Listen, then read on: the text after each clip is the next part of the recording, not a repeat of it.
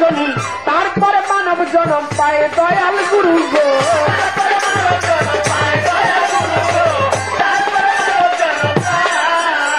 কেমন ছিল গায়ে দয়াল গুরু গো?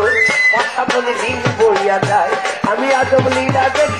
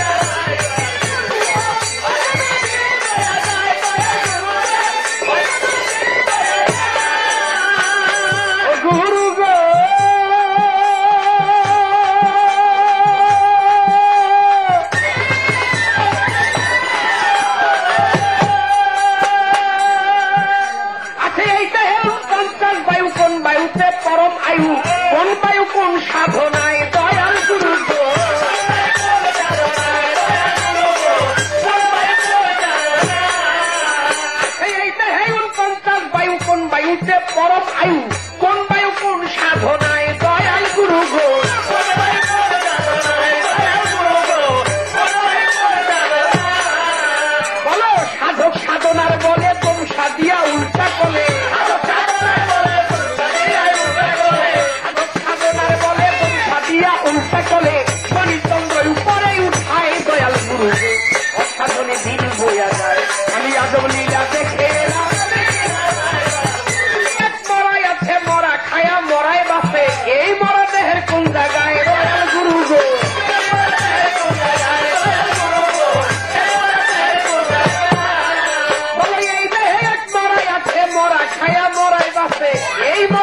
কোন জায়গায় দয়াল গুরু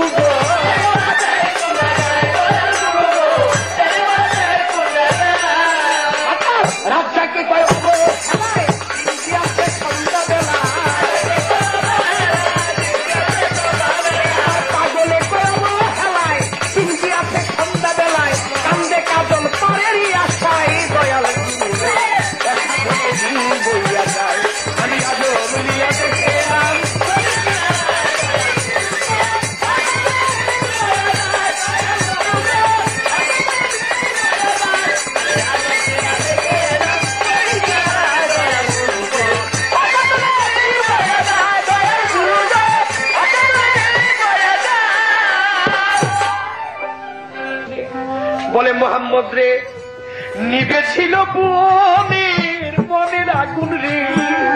বান্ধব আগুন দিলি জ্বালাইয়া।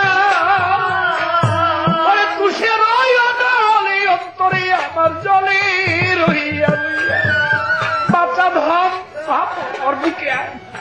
বাবার কাছে যাবি? বলে হ্যাঁ। বলে, চল আমার সাথে। আয়মান দাসীকে সঙ্গে নিয়ে, পিতা আবদুল্লাহ যেখানে তার কবর, ওই কবরের পাশে গিয়ে রজার পাশে গিয়ে আমেরা বলেছে, মোহাম্মদ এইখানে তোমার বাবা ঘুমিয়েছে, তোমার বাবাকে ডাকো, মনের মতো করে ডাকো। আবার নবীজি বাবার কবরের পাশে গিয়ে ডাকে, বাবা, একবার তুমি উঠে আসো, আমার মাথায় একটু হাত ফুলাও আমার গালে দুটি চুমু খাও, আমার মুখে একটু খুরমা দিয়ে আমাকে একটু জড়ায় ধরো। কিন্তু যে যায়, সে তো ফিরে আসে না। তুমি যখন কেটে কেটে থর থর মামেরা বুঝতে পারলেন যে আমার বাচ্চা ধন বুঝবে না। নবীকে বুকের মধ্যে জড়ায় ধরে একটু দূরে চলে গেছে।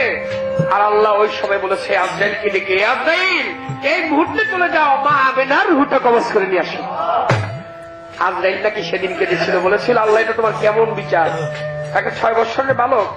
সে বাবা বাবা বলে কাঁদে, আমি এই মুহূর্তে তার মায়ের হুটা একমাত্র পথের সম্বল তার মা।